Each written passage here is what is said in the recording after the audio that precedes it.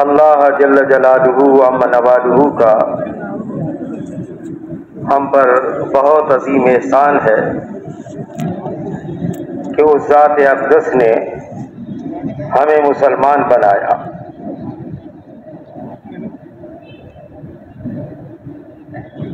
कुरान पाक की आयत का मफहूम है कि उस अल्लाह ने तुम्हारा नाम मुसलमान रखा है।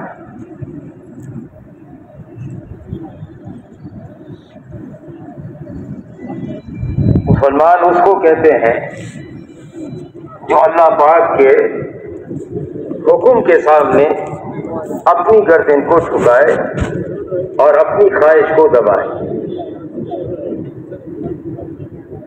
ये मुसलमान होना और ये हिदायत का मिल जाना,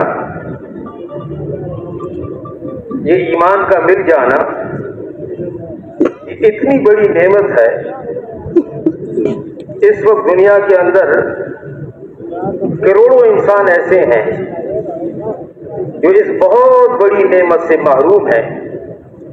और अल्लाह न करे, अगर वो इस दुनिया से चले गए तो हमेशा के लिए जहन्नम की आग में जलेंगे।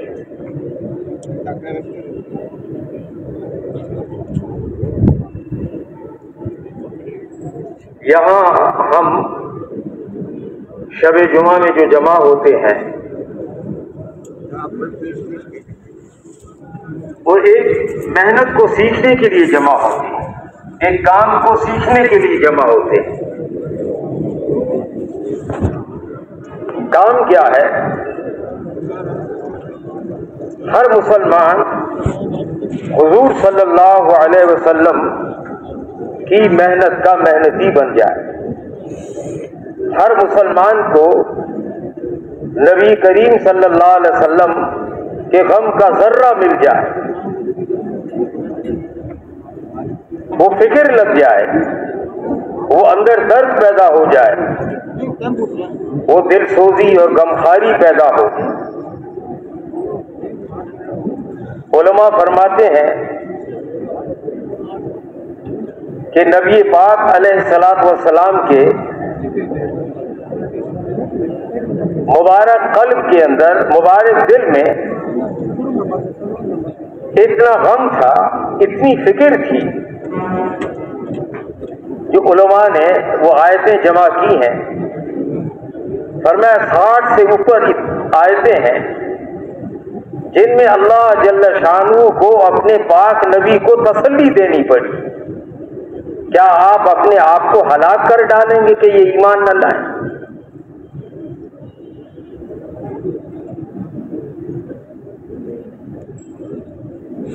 तो उस मेहनत को सीखने के लिए हम यहाँ पे जमा होते हैं।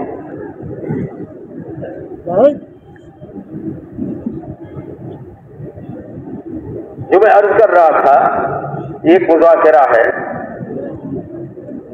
और मुजाकरा ईमान वालों को नफा पहुंचाता है। ये ईमान कितनी बड़ी नेमत है, जिसके पास जर्रा ईमान हो और वो इस दुनिया से चला जाए। दुनिया से दस गुना बड़ी जन्नत अल्लाह पाक उसको अता फरमाए। यहाँ तो हर चीज़ की एक हद है। हर शहर की, हर मुल्क की, दुनिया की भी एक हद है। लेकिन जन्नत की कोई हद नहीं। आखिरी जो जन्नती जाएगा जन्नत में, उसको इस दुनिया से दस गुना बड़ी जन्नत अल्लाह पाक अता फरमाएँगे। और जिसका ईमान पहाड़ों के बराबर, आसमान की, आसमानों के बराबर होगा, उसको कितनी बड़ी जन्नत अल्लाह पाक अता फरमाएँगे?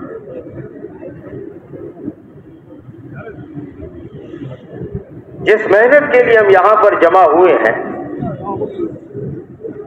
हज़रत जी मौला यूसुफ साहब रहमतुल्लाह अलैह फरमाते थे, इस मेहनत के ज़रिए ये चाहा जा रहा है, जिस मेहनत के लिए हम यहाँ पर जमा हैं, और जिस मेहनत के लिए हम हफ़्ते में दो गश्त करते हैं, जिस मेहनत के लिए हम महीने के तीन दिन लगाते हैं। साल का चिल्ला या तीन चिल्ले लगाते हैं। रोज़ाना ढाई घंटे से लेकर आठ घंटे से लेकर ढाई घंटे तक देते हैं। तो हज़रत फरमाते थे कि इस मेहनत के लिए, हम इस मेहनत को सीखने के लिए जमा है। यहाँ पर अब मंगल को भी इसी मेहनत के लिए हफ़्ते में एक दिन जमा होते हैं, चंद साथी हर मस्जिद से। तो फरमाए इस मेहनत से ये चाहा जा रहा है, कितनी बड़ी बात है। भाई, सब गौर से सुन ले। बड़ों की बात है। इस मेहनत से ये चाहा जा रहा है कि ये उम्मत उस मकाम पर आ जाए, उस जगह पर आ जाए। जिस मकाम पर हज़रत मोहम्मद सल्लल्लाहु अलैहि वसल्लम इस उम्मत को छोड़ कर जाए क्या वो ऊँचा मकाम था?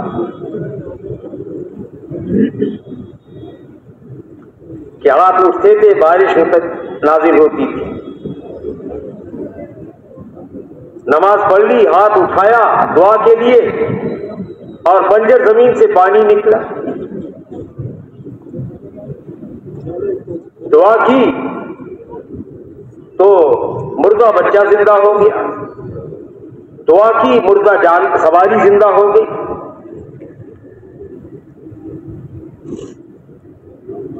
पूरी इंसानियत हमारे सामने है। हम यहाँ बैठे शबी जुमा में हैं। लेकिन पूरी इंसानियत हमारे सामने है। फरमा, इस काम के ज़रिए चाहा जा रहा है कि उम्मत दोबारा उस मकाम पर आ जाए जिस मकाम पर हज़रत मोहम्मद सल्लल्लाहु अलैहि वसल्लम इस उम्मत को छोड़कर गए।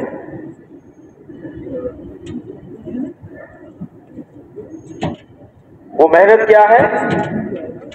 कि उम्मत का माल उम्मत का माल और उम्मत की जान। इस कलमे के फैलाने पर लगे, दावत पर लगे। उम्मत का माल और उम्मत की जान। सबसे पहले इस कलमे के फैलाने पर लगे। इसकी तशरी में कुरान पाक को समझने वाले एक बहुत बड़े मुफसर लिखते हैं, जो कुरान पाक की आयत है कि तुम बेहतरीन उम्मत हो, कि तुम्हें निकाला गया है।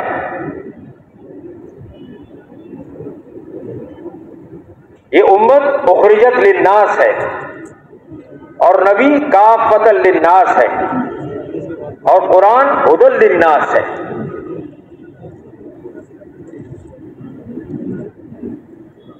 तो इस आयत के जैल में, हाशिए में,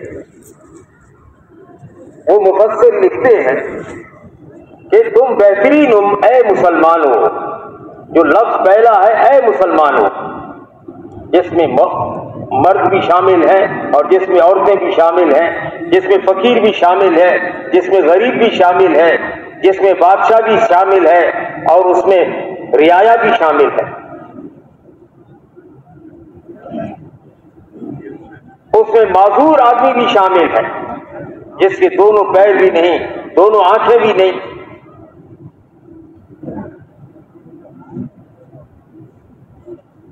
अरे मुसलमानों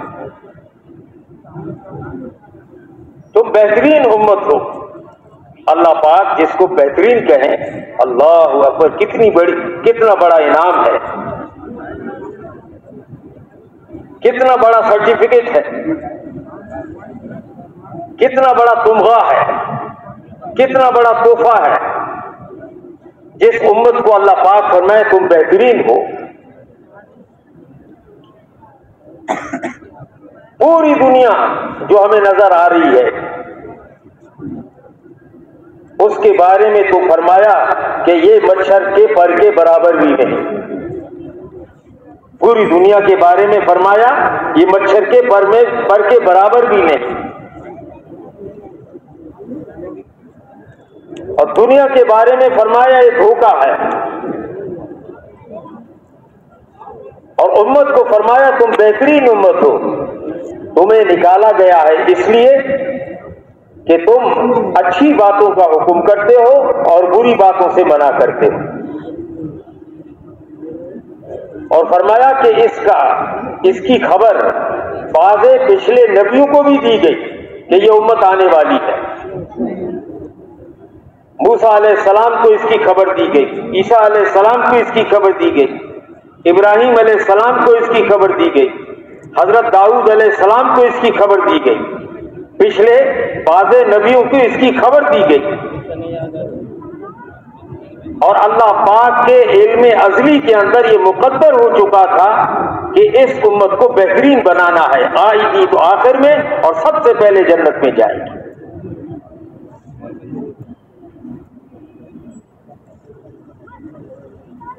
आगे फरमाते हैं, ऐ मुसलमानों, तुम्हारी कुर्बानी पर भाई सब मुतवजे हैं कि ऐ मुसलमानों, तुम्हारी कुर्बानी पर ईमान, इल्म, तकवा और अमल, इनकी शाखें सरसब्द व शादाब होंगी। जब मेहनत आदमी करेगा कुर्बानी के साथ। तो इल्म के अंदर भी सरसब सरसब्जी और शादाबी आएगी। और तकवा उसके अंदर भी सरसब्जी और शादाबी आएगी। और ईमान भी बढ़ता रहेगा और ईमान फैलता भी रहेगा। और अमल वजूद के अंदर आएगा। फिर आदमी को अपनी कामयाबी, वो अमल के अंदर नज़र आएगी। हिफाजत अमल के अंदर नज़र आएगी। इज़्ज़त नबी वाले अमल के अंदर नज़र आएगी।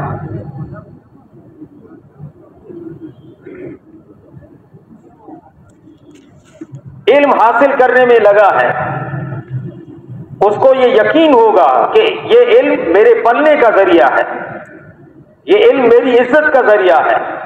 इल्म, अमल, ईमान, तकवा, ये चार बुनियादी चीज़ें, ये हमारी हिफाजत की भी जमानत है और ये हमारे इज़्ज़त की भी जमानत है। क्योंकि इज़्ज़त अल्लाह पाक देते हैं। और मिलेगी हज़रत मोहम्मद सल्लल्लाहु अलैहि वसल्लम वाले तरीकों से। और मिलेगी सिर्फ़ ईमान वालों को। जहाँ इज़्ज़त नज़र आ रही है, वो धोखा है। जहाँ से हिफाजत नज़र आ रही, वो धोखा है। हफीज अल्लाह पाक की साथ है, वो अपनी कुदरत से हिफाजत करते हैं। इज़्ज़त अल्लाह पाक देते हैं, अपनी कुदरत से इज़्ज़त देते हैं। इज़्ज़त के सारे नक्शे नमरूद के पास हैं। इज़्ज़त के सारे नक्शे फिरौन के पास हैं। हिफाजत के सारे नक्शे नमरूद के पास हैं। सारे नक्शे फिरौन के पास हैं। लेकिन क्यामत तक आने वाले सारे इंसानों को बताया गया, वो मुसलमानों या गैर मुस्लिम, कि इज़्ज़त मूसा सलाम को मिली और इज़्ज़त इब्राहिम सलाम को मिली। इज़्ज़त का कोई नक्शा नहीं।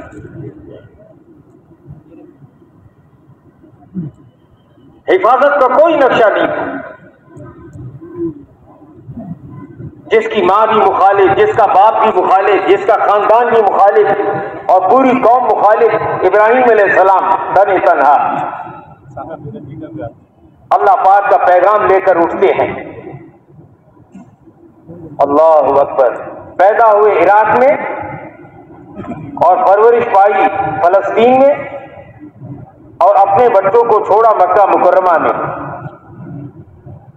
मैंने खुद सुना, मुफ्ती जैनुल आबदीन रामतुल्ला फरमाते थे, फरमाया एक बयान में कि जब बच्चों को छोड़ा तो आपने 40 सफ़र किए हैं, दीन की मेहनत के लिए। इब्राहिम ने 40 सफ़र, जो अबुल अंबिया हैं, सारे नबियों के बाप। और सारी मेहनत करने के बाद जब बैतुल्ला बनाया, इब्राहिम सलाम ने भी ये उम्मत मांगी है जिसमें हम और आप हैं। हम कितने खुशकिस्मत हैं। जिसको बेहतरीन करार दिया गया। ये तो नादानी की बात है। कोई माल के ज़रिए अपने आप को बेहतरीन समझे। कोई ओहदा और मनसब और डिग्री के ज़रिए अपने आप को बेहतरीन समझे। नहीं फरमाया तुम बेहतरीन उम्मत इसलिए हो कि तुम्हें निकाला गया है। उखरजत मिलना सारे इंसानों के लिए। एक शहर, एक मुल्क, एक बर आज़म नहीं, सारे इंसानों के लिए।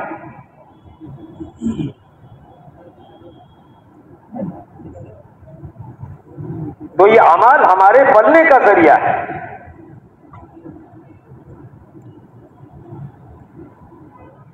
ईमान सीखेंगे, ईमान को फैलाएँगे। इल्म सीखेंगे, इल्म को फैलाएँगे। देखिए, किसी भी चीज़ की मेहनत हो, उसको फैलाया ना जाए, वो फिर चीज़ महदूद हो जाती है।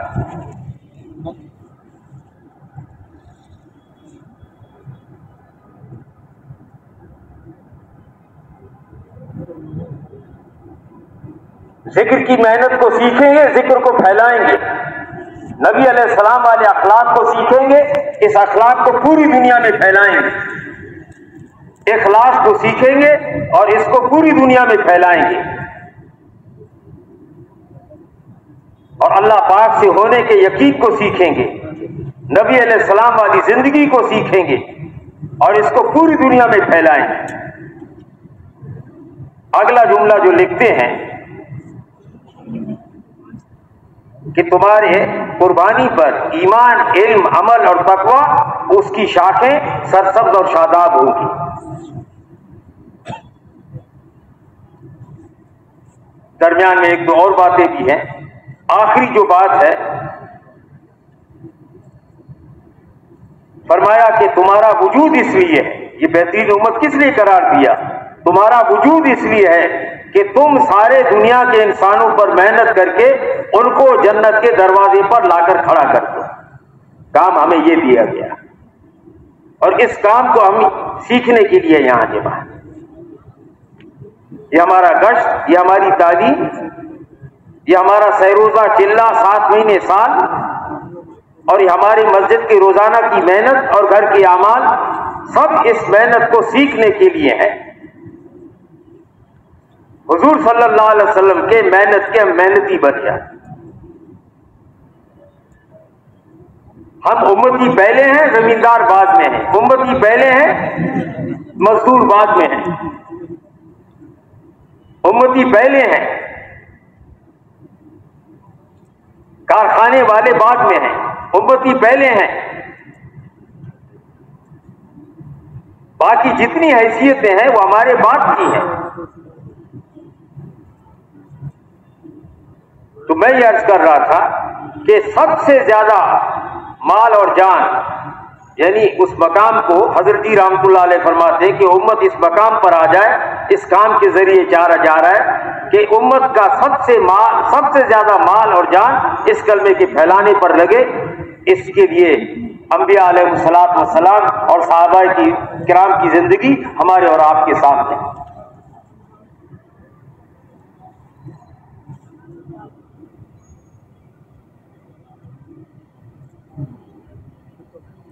लोगों के पास चल कर जाना और उनकी मेहनत समाजत करना, उनकी खैर खाई लेकर जाना और उनसे कोई अजर न लेना।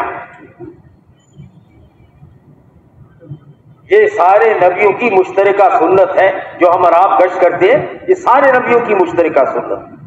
कितनी बड़ी अजीम दौलत है ये गश्त।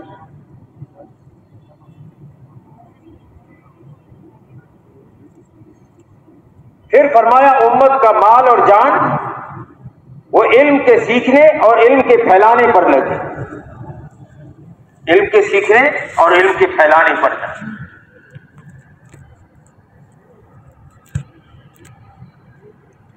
आज तो कितनी आसानी है। एक साहबी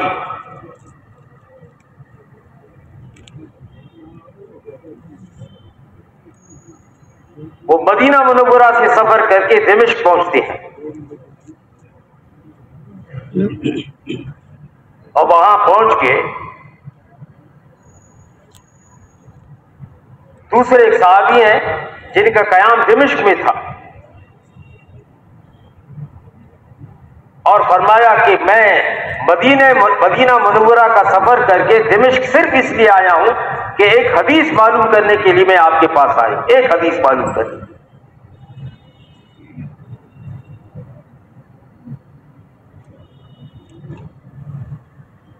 इमाम बुखारी रामकुल्ला ग्यारह साल की उम्र में सारी हदीसें आपको याद थी। वालदा का इंतकाल हो चुका था। किफालत कूफी के जिम्मे थी। आप हदीस का इल्म हासिल करने के लिए दिमिश अस्कलान, हम्स, मदीना मनवरा बुखारा और मुख्तलिफ़ जगहों पे अस्कलान, मुख्तलिफ़ जगहों पर आप गए।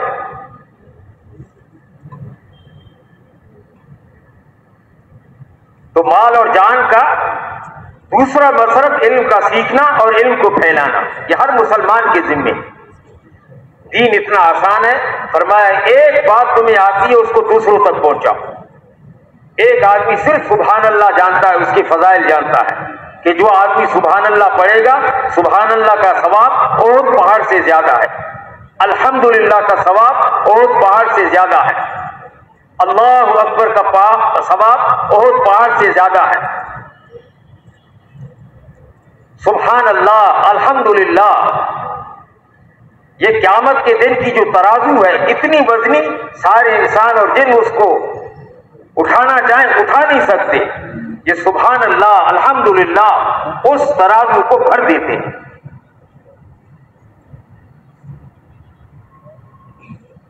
वो हदीस बिताका है, जिस पर्चे पर ये लिखा होगा, अशहद अल्लाह व अशहद अन्ना मोहम्मद अब्दू रसूल या ये कलमा लिखा होगा?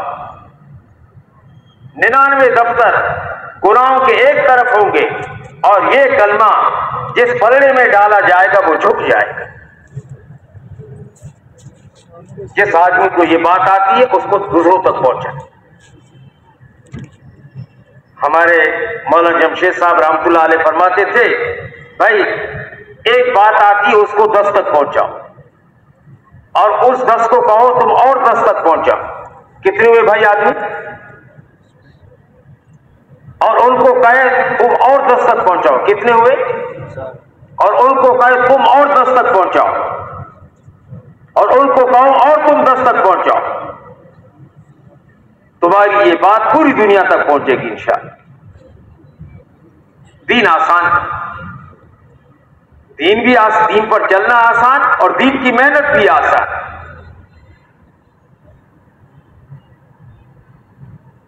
और फिर इस उम्मत का माल और इस उम्मत की जान इबादत के नक्शों के फैलाने पर कायम करने पर लगे। नमाज़ कायम हो ज़िक्र कायम हो। अल्लाह पाक से दुआ के ज़रिए हर मुसलमान देने वाला बने।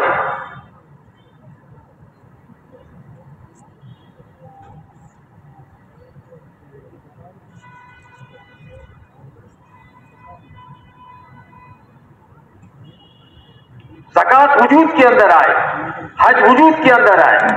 एक जमाना था, सच्ची बात है, आज से साठ, सत्तर साल पहले हम छोटे थे तो हम जानते नहीं थे उम्र क्या है। क्या ख्याल है भाई? जिनकी उम्र सत्तर, अस्सी साल है, अल्लाह पाक ने मेहनत के ज़रिए, जब मेहनत हुई पहले पता नहीं था उम्र क्या है।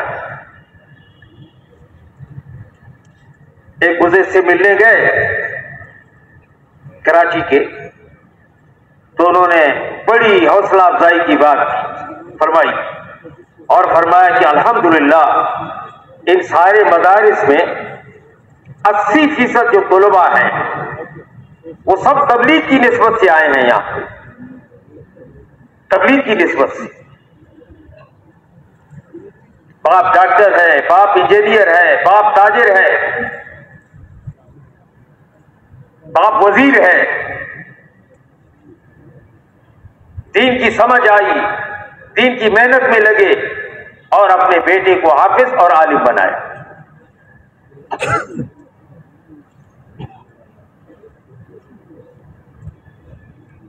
इस मेहनत के ज़रिए से इनकी शाखें सरसब्ज और शादाब होंगी इस मेहनत के ज़रिए से ज़िक्र वजूद के अंदर आएगा।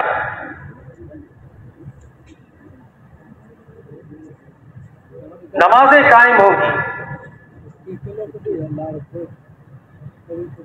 मस्जिदें आबाद होगी।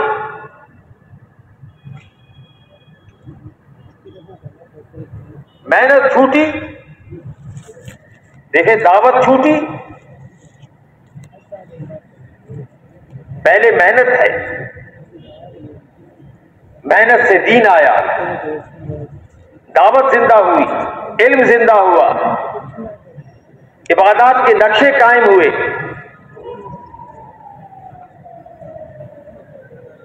लोग बाखलाक हुए।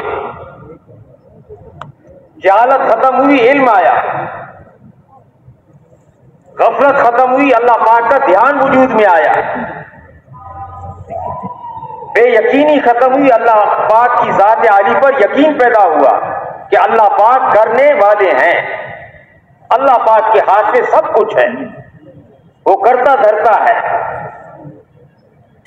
कोई नक्शा ना हो।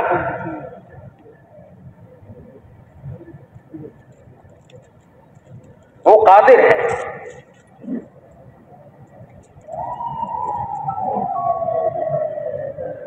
पानी के कतरे पर अल्लाह पाक ने बेहतरीन शिकल, वो मुसवर है, बेहतरीन शिकल बना। वो बारी है, वो मुसवर है। किसी चीज़ का वजूद ना हो, उसको वजूद दे। यहाँ जब मकान बनता है, उसके लिए जो जरूरियात है, वो ज़रूरी है। सीमेंट है, सरिया है, ईंटें हैं, जो लवाजमात हैं लेकिन अल्लाह पाक का इरादा वजूद, अल्लाह पाक इरादा फरमाते महल बन जाता है। जो दस मरतबा सूर्य इखलास पड़े उसके लिए महल तामीर होगा। जो मरीज़ की इयादत करे, उसके लिए महल तामीर होगा।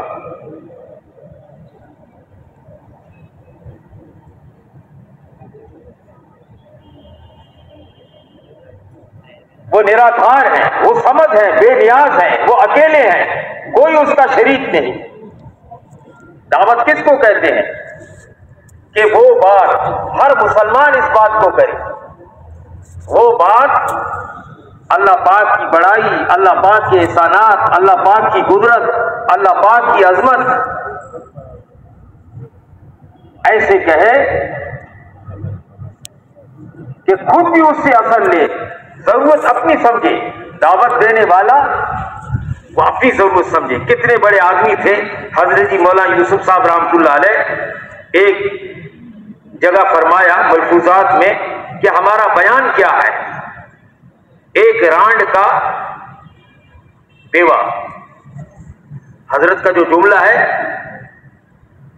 यानी एक रांड, यानी बेवा, शोहर का इंतकाल हो गया। एक बेवा औरत का अपने अकलों से एक बच्चा है। उसकी लाश पर रोना। यह हमारा बयान है।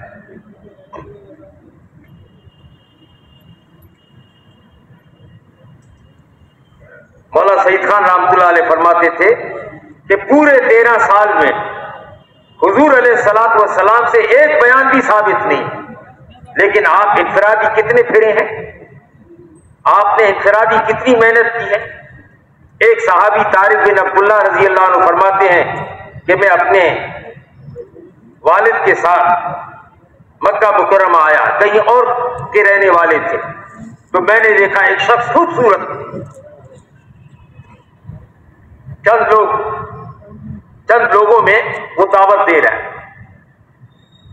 और मफहूम उसका यह है कि लोगों, कलमा पढ़ो, तुम कामयाब हो जाओ। और फरमाया, उसके बाद एक शख्स आता है और उसने मिट्टी फेंकता है। एक छोटी बच्ची आती है, उसके हाथ में एक प्याला होता है कि अब्बा इससे मुँह को धो ले। और फरमाया, उस शख्स को मैंने देखा, दावत देते देते कई घंटे गुजर गए, हत्या के बिल्कुल सूरज दरमियान में आ गया मैंने अपने बाप से पूछा कि ये कौन है?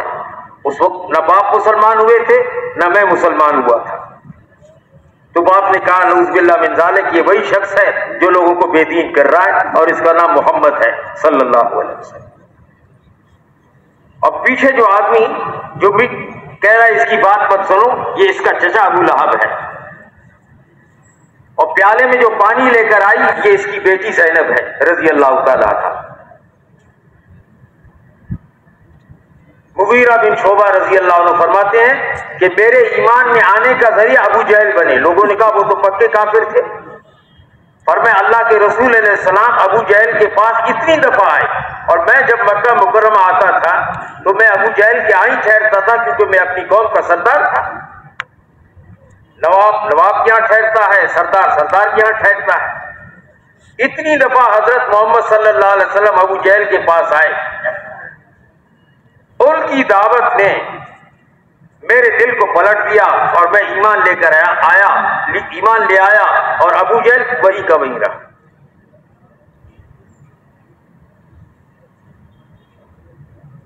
एक साहबी को आपने दावत दी। तुफेल बिन अम्र, दोस कबीले के थे। वो दावत सुनी और गए अपने कबीले के अंदर। इनकी दावत पे अस्सी घराने मुसलमान हो गए। एक लश्कर के अंदर हुजूर सलात वसलाम जा रहे हैं। पानी खत्म हुआ। एक औरत भी उस सफ़र में थी, वो अपने काम से जा रही थी।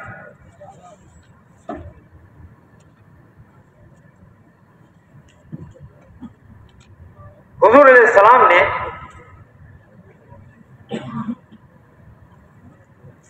या तो पर्दे के आकामात उस वक्त नाजिल नहीं हुए थे, या पर्दे में उस औरत को दावत दी।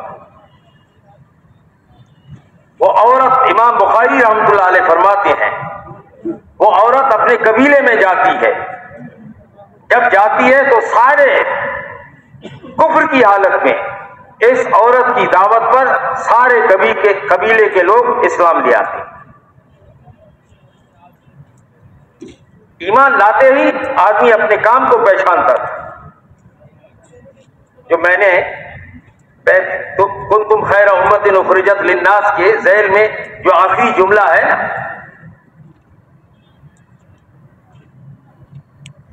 कि ये तुम्हारी ज़िम्मेदारी है। कि तुम दुनिया के सारे इंसानों पर, चाहे वो अमेरिका के रहने वाले हों, चाहे वो रूस के रहने वाले हों, चाहे वो शमाल या जुनूब, मशरक और मगरब के रहने वाले हों, तुम उन पे ऐसी मेहनत करो कि उनको जन्नत के दरवाजे पर लाकर खड़ा कर दो। बस, काम हो गया। इस मेहनत के लिए हम जमा हैं।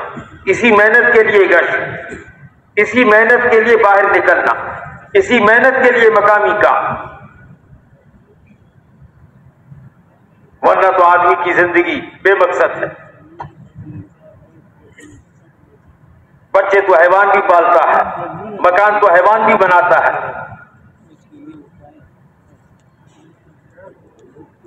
बच्चों के खाने का इंतज़ाम तो हैवान भी करता है। इसकी अफजलियत इस पर है। हाँ एक जुमला जो अब मुझे याद आ गया, क्या है मुसलमानों, तुम्हें अफजल और अशरफ नबी दिया गया, और तुम्हें अकमल और अदवम शरीयत दी गई। ये इसी हाशिए में है। ऐ मुसलमानों, तुम्हें अफजल और अशरफ नबी दिया गया। अदवम हमेशा के लिए शरीयत दी गई, और अकबल कामिल शरीयत दी गई। अब इस शरीयत के बाद कोई शरीयत की गुंजाइश नहीं। दीन मुकम्मल है और दीन आसान भी है। दीन पर चलना आसान और दीन की मेहनत भी आसान। देखो वज़ू में चार फ़र्ज़ हैं। अब जिसके दो हाथ नहीं, दो पैर नहीं, अब उसके जिम्मे कितने फ़र्ज़ है भाई? जी तो हो गए। आसान। खड़े होकर नहीं पढ़ सकता, नमाज़ बैठ के पढ़ बैठ के नहीं पढ़ सकता, लेट कर पढ़ ले, तीन आसान। वो हमें उलमा बताएँगे, क्योंकि तफसीली इल्म जो है वो उलमा के पास है। जैसे मैंने बात की ना, एक हदीस को सीखने के लिए, वो हदीस क्या है, वो भी सुनाता हूँ। फजैल अमाल में और हयात साहबा में वो हदीस लिखी हुई है। कि जो दीन के इल्म के सीखने के लिए निकले। अल्लाह पाक उसके लिए जन्नत के रास्ते को आसान करते ये साहबी मदीना मनोवरा से दिमिश्क इस हदीस को सीखने के लिए निकले और उस साहब ने, जो मेजबान थे, ये मेहमान थे, उन्होंने कहा, जनाब, आप खाना तो खा लें। उन्होंने कहा, नहीं, मैं तो इस हदीस को सीखने के लिए आया और फिर अपनी सवारी लेके मदीना मनोवरा की तरफ़ निकले।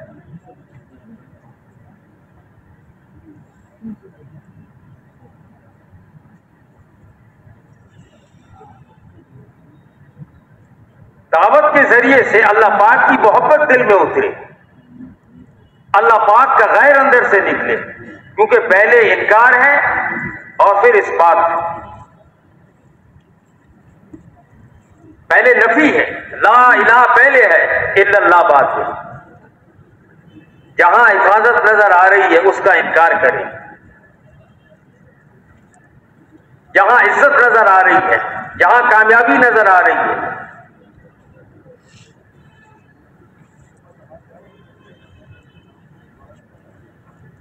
जहाँ पल्ला नज़र आ रहा है। पलने के नक्शे नज़र आ रहे हैं कि मैं यहाँ से पलता हूँ। कलमे का तकाजा यह है कि अल्लाह पाक पालते हैं और अल्लाह पाक हज़रत मोहम्मद सल्लल्लाहु अलैहि वसल्लम वाले अमाल पर पाले। उन अमाल के अंदर दावत है, उन अमाल के अंदर तालीम ताल्लुम है। उन अमाल के अंदर ज़िक्र, इबादत और दुआ है और उन अमाल के अंदर नबी सलाम वाले अखलाक है। और इनको वजूद में लाने के लिए पाँच काम है। और सीखने के लिए नकलो हरकत। इल्म फैले, ईमान फैले, ज़िक्र फैले कोई चीज़ कितनी वाफिर वाफिर मिकदार में हो। अगर उसको फैलाने की मेहनत ना हो, वो चीज़ महदूद हो जाती है।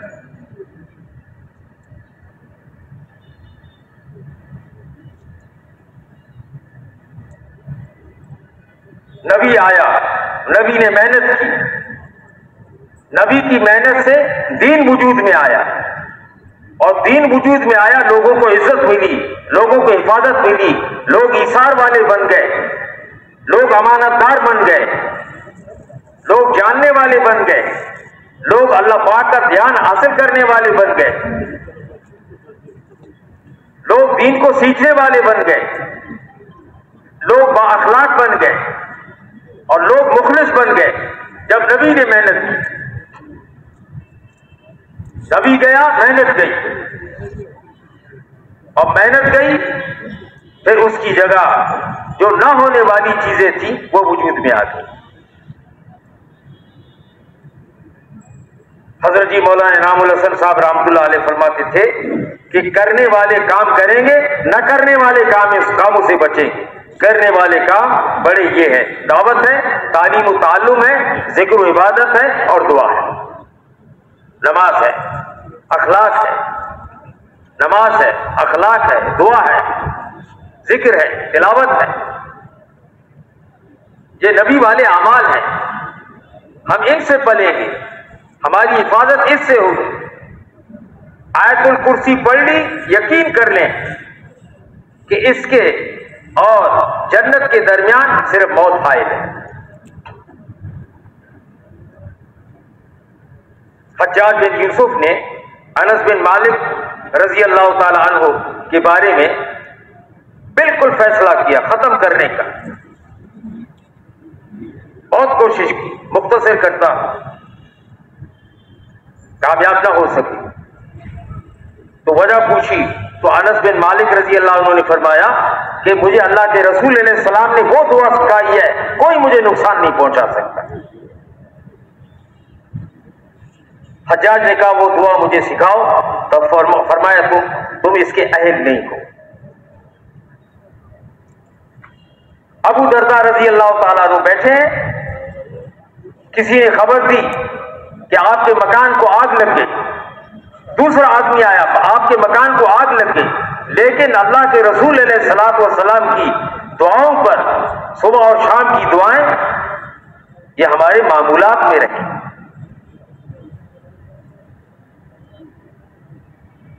फिर एक साहब आए, उनका सब मकान जल गए, आपका बचा। तो फरमाया कि मैं आपकी बात पे यकीन रखूँ या अल्लाह के रसूल सलाम की बात पर यकीन रखूँ?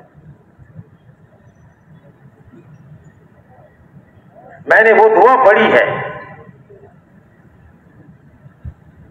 इन अमाल के अंदर हिफाजत भी है, इन अमाल में इज़्ज़त भी है।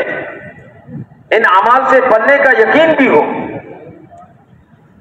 और इन अमाल में कामयाबी भी है, इन अमाल में नजात भी है। इन अमाल से दुनिया की ज़िंदगी भी बनेगी और मरने के बाद जो हमेशा की ज़िंदगी है, वो भी बनेगी।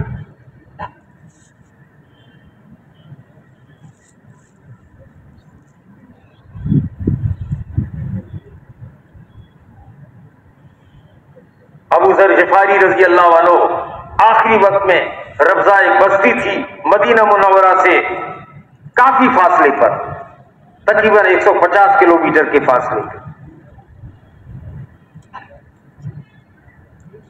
मैंने एक ड्राइवर से पूछा, मैंने कहा, आप रब्जा गए हैं? उनका एक दफ़ा गया हूँ, लेकिन बड़ी मुश्किल से वहाँ पहुँचा। आखिरी वक्त है। अपनी एहलिया मोहतरमा से फरमा रहे हैं कि देखो बकरी जबा करना और खुशबू का इंतज़ाम करना, कुछ मेहमान आने वाले हैं। एक वीराना, आज भी वो वीरान जगह है। अल्लाह के रसूल सलाम की बात पर यकीन, ईमान किसको कहते हैं? कि अल्लाह और उसके रसूल सलात सलाम की बात पर खबर पर यकीन रखना अपनी नज़र से जो नज़र आ रहा है उस पर यकीन ना खबर पर यकीन रखना। नज़र आ रहा है कि सूद से माल बढ़ता है। खबर यह है कि सूद माल को घटाता है। खबर यह है कि सदके से माल घटता है। नज़र आ रहा है। लेकिन अल्लाह के रसूल सलाम की खबर यह है कि सदका माल को बढ़ाता है। सदका बुरी मौत से नजात देता है।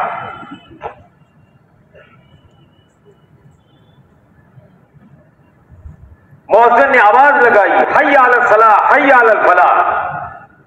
करोड़ों रुपए का गाहक खड़ा है। आवाज़ आई हई आल सलाह, आओ नमाज़ की तरफ़, आओ कामयाबी की तरफ़। यकीन नमाज़ पे होगा तो आदमी उस गाहक को छोड़ेगा, मस्जिद की तरफ़ चलेगा और यकीन माल पर होगा तो आदमी अपनी नमाज़ को जाय करेगा और उस माल को हासिल करेगा।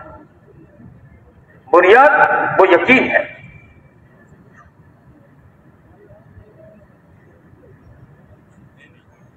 हज़रत जी रामतुल्लाह फरमाते थे मौला इनाम साहब रामतुल्लाह के करने वाले कामों में लगोगे, न करने वाले कामों से बचोगे। ये नबी वाले बड़े अमाल ये करने के हैं। इनमें लगे। अल्लाह जजाय खैर दे कराम को और हजरात को कि जो हमें करने वाले कामों की तरफ़ मुतवजे कर। रात दिन इसी में लगे। हाँ बकद ज़रूरत। ज़रूरत के दर्जे में। जितनी ज़रूरत है, उतने दर्जे में अपने मुआश में लगे। वो भी इसलिए कि हमें किसी से सवाल न करना पड़े। वो भी इसलिए कि हमारे दिल में ये चीज़ पैदा ना हो कि भाई ये इससे मैं फ़ायदा हासिल कर। हराम से बचने के लिए वो कमाना ख्वाहिश के पूरा करने के लिए नहीं।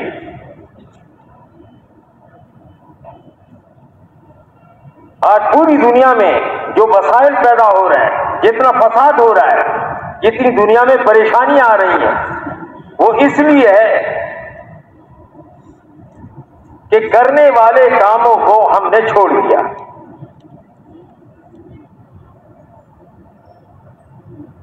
इस मेहनत के ज़रिए उम्मत को करने वाले कामों पर लगाएँ दावत पर लगाएँ इल्म पर लगाएँ ज़िक्र पर लगाएँ नमाजों पर लगाएँ, नबी वाले अखलाक पर लगाए बकदर ज़रूरत मौज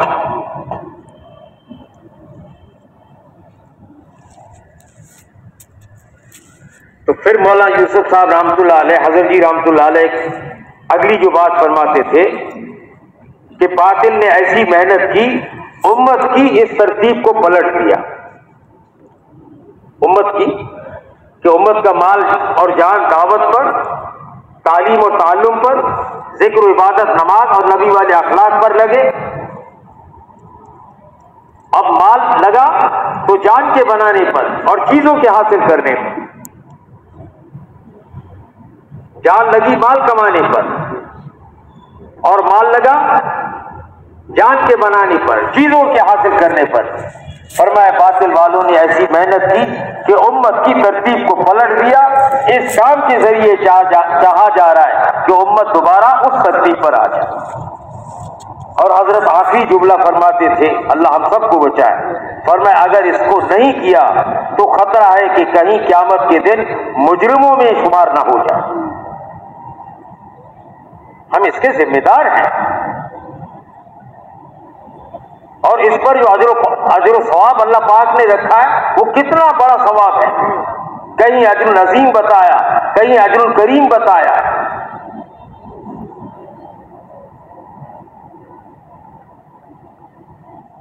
कहीं ऐसा अजर बताया कि जिसकी कोई इंतहा नहीं, बगैर हिसाब। अल्लाह पाक इतना देंगे, इतना नवाजेंगे। अब आदमी सोचे, जो आदमी रोज़ाना अल्लाह पाक से होने को कहे, अल्लाह पाक के गैर से न होने को कहे, लोगों के दिलों में अल्लाह पाक की मोहब्बत को बिठाए, अल्लाह पाक के एहसानात को कहे, कितना उस बात का हम पर एहसान है, उसको आदमी गिन भी नहीं सकता। मैं छोटी बात करता हूँ। बात छोटी नहीं है जबान से निकल गई कि फरमाया कि तुम अपनी जात पे गौर नहीं करते हो। कुरान पाक की आयत का मफहूम है। और ज़मीन के अंदर जो निशानियाँ हैं,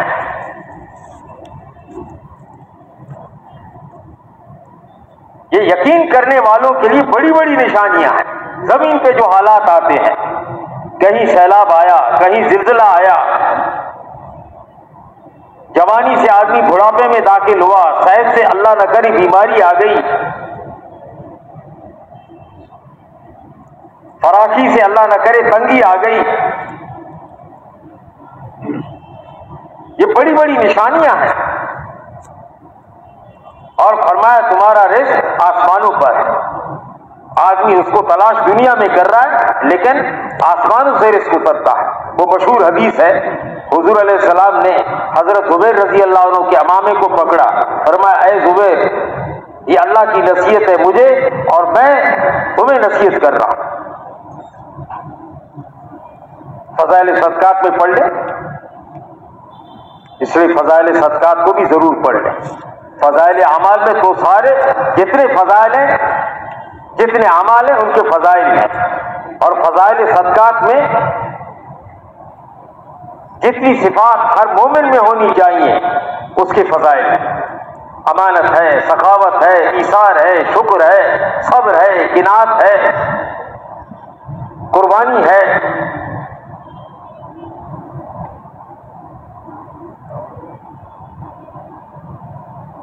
और जबान का सही इस्तेमाल है, आँखों का सही इस्तेमाल है, और रसायन जितनी गंदगियाँ हैं, किब्र है, हसद है, बुगुज है, कीना है, खयानत है,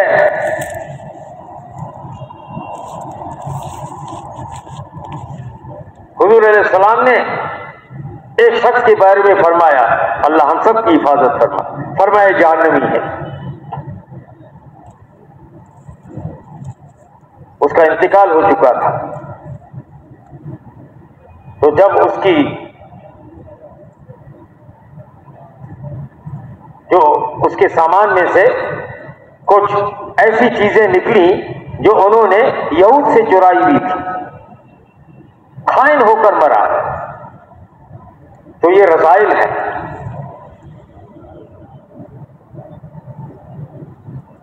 जबान गलत बोलेगी कितना नुकसान होगा फरमा, एक आदमी बिल्कुल जन्नत के करीब पहुँचा। एक बालिश करीब है, लेकिन उसने ऐसी बात की जिससे उम्मत में तोड़ पैदा हुआ। उम्मत में तोड़ पैदा हुआ।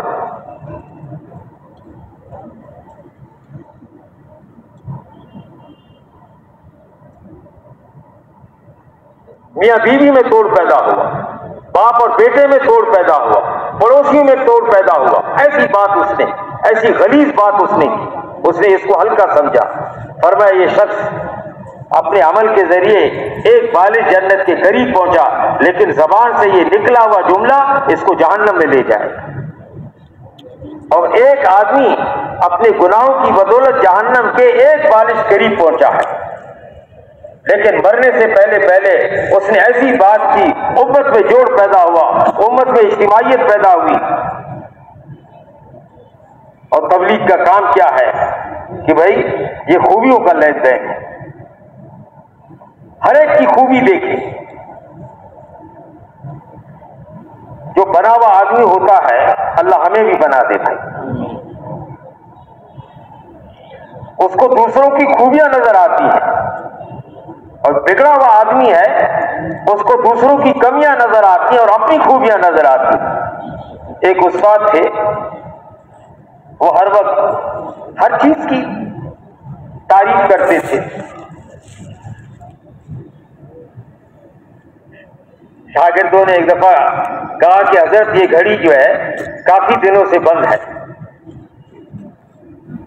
अब जो अच्छाई देखने वाले हैं उन्होंने कहा कि दो वक्त ये सही बता रहे बात वाजे हो गई? भाई 11 बजे पर आके दोनों कांटे रुक गए। तीसरा कांटा भी रुक गया।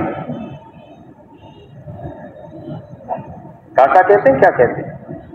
जी, सुई सुई। ये तीनों रुक गए 11 बजे। अब दो वक्त, ये तो सही बता रही है सुबह ग्यारह बजे और रात को ग्यारह बजे। अब उस अल्लाह वाले को उस घड़ी के अंदर खूबी नज़र आई। वो शागिर हैरान हो गए कि क्या जी, उस साथ जी ने, माशाल्लाह देखो कैसी अच्छी मिसाल।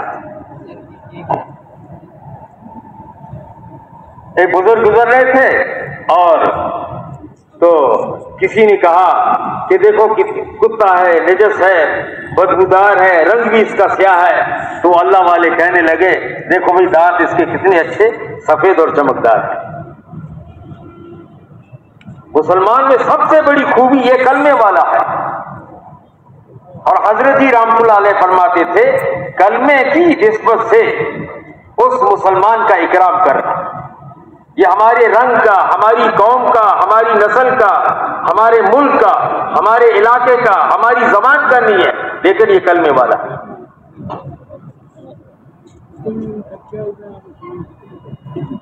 और हज़रत इकराम के जैल में फरमाते थे, अल्लाह न करे, अगर भाई जालिम है और एक गैर मुस्लिम मजलूम है तो इस्लाम का तकाजा यह है, मुसलमानी का तकाजा यह है कि हम अपने भाई की मुखालफत करेंगे और उस मजलूम की हिमायत करेंगे, चाहे वो गैर मुस्लिम हो। हम नहीं देखेंगे ये मेरा भाई है, ये मेरा रिश्तेदार है, क्योंकि ये जालिम है। इस वक्त मजलूम की हिमायत की जाए और तकाजा यह कि मजलूम की हिमायत की जाए।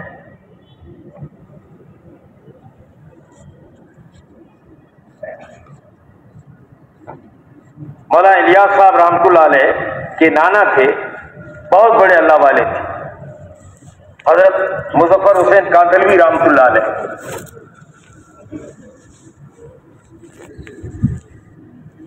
दीन के अंदर ईमानियात, इबादत भी हैं और मामला भी हैं। मैं सबसे ज़्यादा उसका अमल वजनदार होगा जिसके मामला अच्छे होंगे, जिसके अखलाक अच्छे होंगे। क्यामत के दिन सबसे ज़्यादा आम वजनदार उनके होंगे जिनके अखलाक अच्छे हों। जिसने जबान अच्छी, अच्छी, बात जबान से अच्छी बात निकाली। जोड़ की बात किसी की कीमत नहीं किसी पे तोबत नहीं लगाई किसी से बदगुमानी नहीं की हर एक से अच्छा गुमान रखा। झूठ नहीं बोला, तोड़ पैदा नहीं किया। और फरमाया, बदतरीन सूद जो है, क्या है? वो मुसलमान की इज़्ज़त को गिराना। बदतरीन सूद है।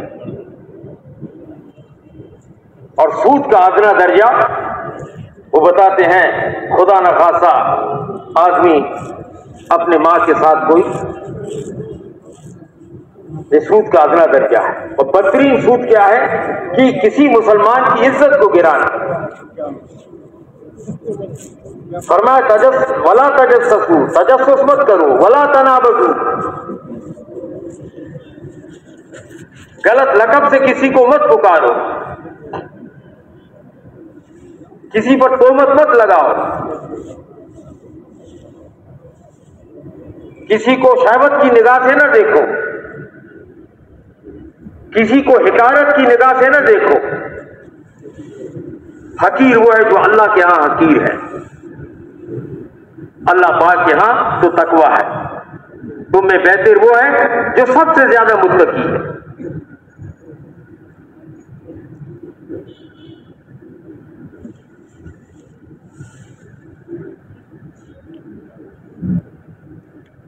तो फरमाया कि, ऐ जुबेर रिस्क जो है, उसका दरवाज़ा अल्लाह पाक के अर्श के साथ लगा हुआ है। तुम जितना खर्च करोगे, अल्लाह उतना तुम्हें ज़्यादा दो तुम्हारी नीयत के बकदर तुम्हारे खर्च करने के बकदर भाई अमीन साहब रामतुल्लाह फरमाते थे, एक रोटी तीन आदमियों को जन्नत में ले जाएगी एक रोटी। एक जिस औरत ने पकाई, घर की। और एक जिसने इंतज़ाम किया, उस रोटी का आटा लेकर आए। और एक उस खादिमा का जिसने सवाल करने वाले तक पहुँचा।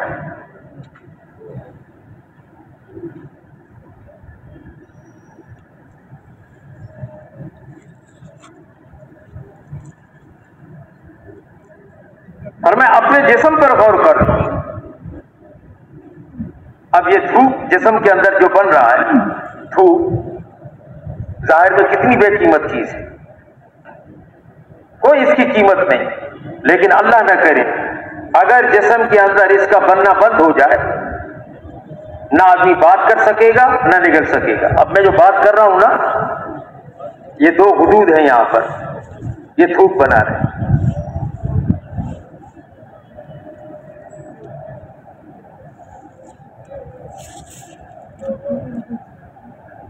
और फिर जो हम खाना खाते हैं, इसके अंदर कई ऐसी, ऐसे अज्जा हैं जो उसमें मुआवनत करते हैं, मदद करते हैं, हजम करने में।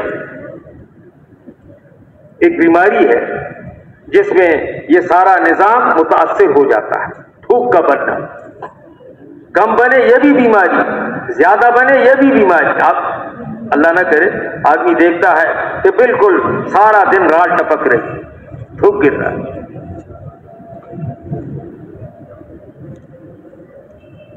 अब कहीं उसका इलाज है? कई साल पहले एक दवा दरियाफ्त हुई। उस दवा की उस वक्त कीमत 50 डॉलर। उसके खाने से आदमी 50 मिनट 15 मिनट तक बात भी कर सकेगा और बोल भी सकेगा। अब ये धूप जो हमारे जिसम में बन रहा है, ये कितनी कीमती चीज़ है? ये हमारी आँखों का बंद होना इसका खुलना। ये कितनी बड़ी नेमत है। सुबह से लेकर अब तक कितनी दफ़ा ये बंद हुई, खुली है, किसी को पता नहीं। और फिर जितने आजा हैं एक एक उज जो है, अल्लाह पाक के कितने एहसानात हैं अपने जिसम के अंदर आदमी देख ले और जिसम से बाहर देख ले, एक रोटी सामने आती है। इस पे कितनी मेहनत हुई ये रोटी सामने आई? किसने ज़मीन आबाद की, किसने ज़मीन को पानी दिया, किसने बीज लगाया? और किसने इसकी हिफाजत की, किसने इसको काटा? और किसने कारखाने तक पहुँचाया? वहाँ इसकी पिसाई हुई, फिर दुकान तक आटा पहुँचा, फिर घर में पहुँचा और इसको पकाया गया और सामने रखा। इसलिए हसन बसरी रामतुल्लाह फरमाते हैं कि पहला जब लुकमा खाओ तो ये कहो, या वासियल मगफिरा, ऐ वसी मगफिरत करने वाले। मैं इस काबिल नहीं हूँ कि ये लुकमा मैं ले लूँ। और लुकमा भी अल्लाह के इरादे से आदमी निकलता है। कितने लोग हैं, अस्पतालों में हैं, वो लुकमा निकल नहीं सकते। नाक के ज़रिए या मेदे के ज़रिए उनको खुराक दी जाए।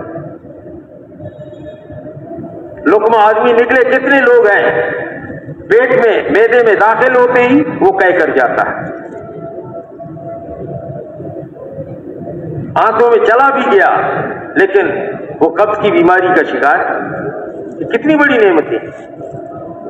अल्लाह पाक के एहसानात को, अल्लाह पाक की कुदरत को, मौला ज़ाहिर शाह साहब रहमतुल्लाह फरमाते थे, अल्लाह पाक के कारनामों को बयान करो और अल्लाह पाक का कारनामा वो कुरान है। अल्लाह पाक का कारनामा वो कुरान है। और इस दावत को ताकत पहुँचाने के लिए इल्म है और ज़िक्र है। इस दावत को ताकत पहुँचाने के लिए इल्म है और ज़िक्र है। वक्त मुकर्र करके कुरान पाक की तिलावत और वक्त मुकर्र करके अल्लाह पाक का ज़िक्र करें। और सुबह और शाम की दुआएँ फजाइल का इल्म भी है और वसाइल का इल्म भी है। ज़िंदगी से मुतालिक जितने मसाइल हैं, अल्लाह ताला कराम को जजाय खैर अता फरमाए। जब दारुल इफ्ता में आदमी जाता है, कागज़ भी वो अपना इस्तेमाल करते हैं, कलम भी अपना इस्तेमाल करते हैं और कई किताबें खोल के, एक मसला है, लेकिन बीसियों किताबें वो खोल के हमें उस मसले का हल बताते हैं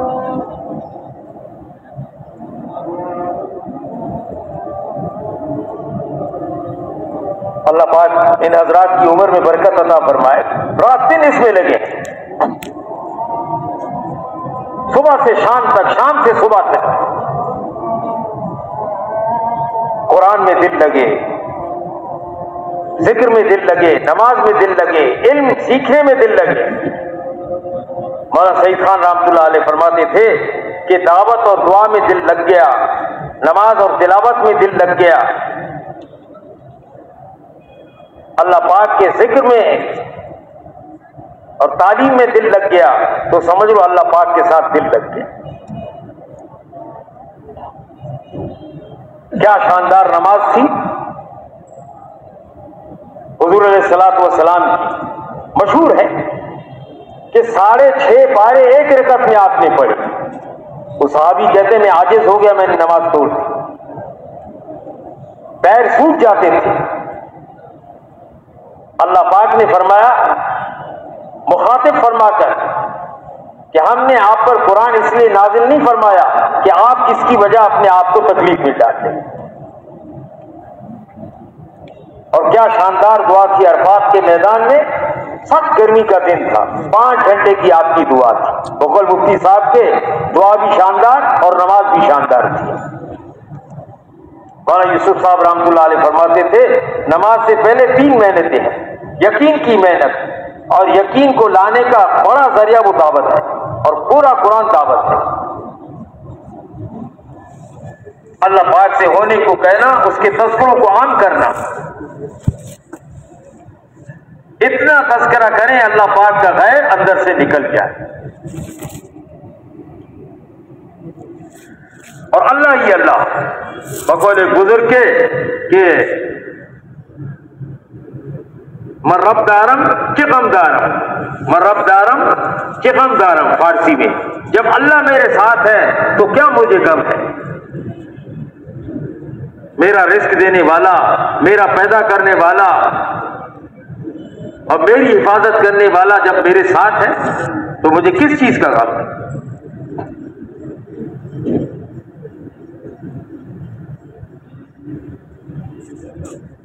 तो इस मेहनत के ज़रिए हर मुसलमान को इस बात की तरफ़ मुतवज मैं जो बात पूरी कर लूँ कि नमाज़ से पहले तीन मेहनतें, यकीन की मेहनत और ध्यान की मेहनत, हज़रत जी रामतुल्लाह फरमाते यकीन की मेहनत और ध्यान की मेहनत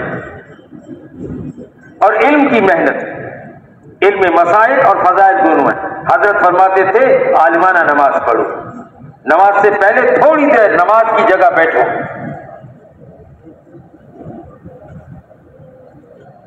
नमाज़ के फजाइल को सोचो। जब आदमी नमाज़ के इंतज़ार में बैठा है फरिश्ते उसके लिए दो बड़ी दुआएँ करते हैं। अल्लाह इनको माफ़ कर अल्लाह इन पर राम कर। और जब बावजू बैठा है नमाज़ के बाद जब तक बावजू है फरिश्ते इसके लिए दो दुआएँ मांगते हैं। यही दुआएँ अल्लाह इनको माफ़ कर अल्लाह इन, पर रहम कर।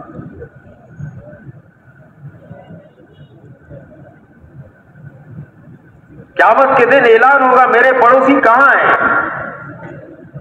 पर मैं आपके पड़ोसी? अल्लाह पाक फरमाएँगे, मेरे पड़ोसी वो हैं जिन्होंने मस्जिदें आबाद की। यानी मस्जिद वाले अमाल में वो लगे रहे और इन अमाल को पूरी दुनिया में पहुँचाया हर कच्चे पक्के मकान तक ये अमाल पहुँचे। ये हमारे जिम्मे काम था, लेकिन भाई दोस्तों, हम भूल गए। अल्लाह जजाय खैर हजरात को कि इस काम की तरफ़ हमें मुतवजह किया जाए। और इसके लिए दुनिया में किसी चीज़ की भी शर्त नहीं।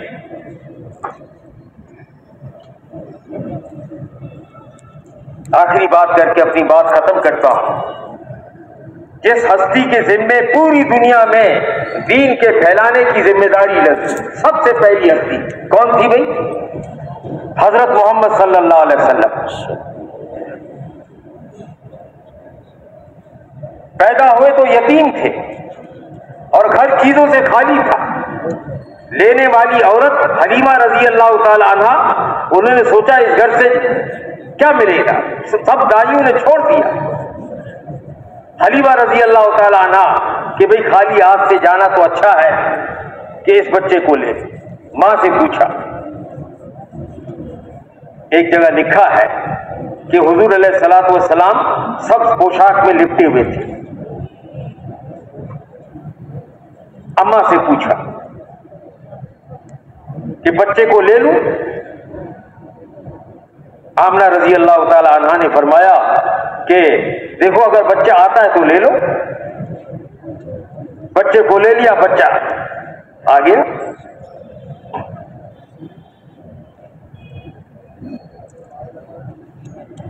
और क्या बरकत आ गई। अभी तक हजूर सलाम को नबूत नहीं मिली। नबी तो पैदाइशी नबी होता है, लेकिन जो नबूत के अहकाम हैं, वो अभी तक मिले नहीं। नबी तो पैदाइशी होता है। और नबी मासूम होता है। घर चीज़ों से खाली। पैदा हुए यतीम, थोड़े अरसे के बाद अम्मा जान का इंतकाल किफालत करने वाले दादा, वो भी उठा लिए गए, ताकि सारी दुनिया के इंसानों को पता चले कि दीन को फैलाने के लिए किसी मुल्क और माल और चीज़ों की शर्त नहीं है हज़रत एक जब हम फरमाते थे कि बेबसी और कस्मा कुर्सी इस काम का सबसे बड़ा सामान है। बेबसी और कस्मा कुर्सी इस काम का सबसे बड़ा सामान है।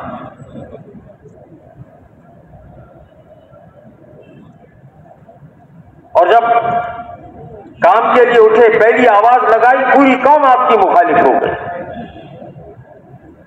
कि आपने हमें इसलिए जमा किया है? पूरी ज़िंदगी जौ की रोटी पेट भरकर नहीं खाई, और जो आखिरी दिन था, उस दिन भी आप भूख की हालत में इस दुनिया से तशीफ ले गए, और आप पर जो कंबल उड़ा हुआ था, वो भी कई जगह से फटा हुआ था। लेकिन पूरी दुनिया में उस हस्ती के ज़रिए पूरा दीन पहुँचा और उस ज़ात अकदस ने, नबी पाक सलाम ने ऐसी जमात तैयार की कि जो पूरी पूरी दुनिया में फिरी। उकबा बिन नाफे रज़ी अल्लाह की कब वो शमाली अफ्रीका के अंदर। हज़रत अब्बास रज़ी अल्लाह के दस बेटों और उन दस बेटों की कब्रें मुख्तलिफ़ जगह पर, एक की ताइफ में है और कुसम बिन अब्बास की समरकंद के अंदर। कहा मदीना मनोवरा और कहा समरकंद? कहाँ सवारियाँ थीं? कहाँ खाने पीने के नक्शे थे? कहाँ गर्मी दूर करने और सर्दी दूर करने के ये जराए थे? कुछ नहीं था। जब आप बदर में तशरीफ़ ले गए, एक सवारी पे तीन आदमी थे। एक सवारी पर तीन आदमी थे।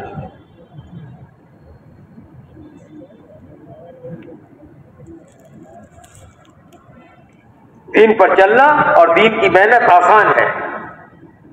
लेकिन वो हमारे रावेन के बुज़ुर्ग हैं, भाई मोहम्मद लतीफ साहब रहमा फरमाने लगे, भाई, आसान क्या है, मुश्किल क्या है? सवाल किया एक दफ़ा उन्होंने, भाई, आसान क्या है, मुश्किल क्या है? अब सबने कहा, भाई, आसान आसान है, मुश्किल मुश्किल। तो फरमाया, भाई, ये बात नहीं है। जिस चीज़ का आदमी पक्का इरादा करे आज़म करे, वो मुश्किल आसान है। और जिस चीज़ का आदमी पक्का इरादा ना करे, वो आसान भी मुश्किल है। बात वाजे हो गई? आदमी ये पक्की नियत करे कि पूरी दुनिया के अंदर पूरा दीन फैलाना है। ये पक्का इरादा करे। सबके इरादे हैं ना इंशा और जो इसके इख्तियार में उससे शुरू कर ले। और फरमाते हैं कि भाई इब्तदा चार महीने से कर चार महीने में अल्लाह पाक ने ऐसी तासीर रखी है। मौला यूसुफ साहब रहमतुल्लाह फरमाते थे कि माजरत के साथ मैंने कहा आखिरी बात है इजाज़त है।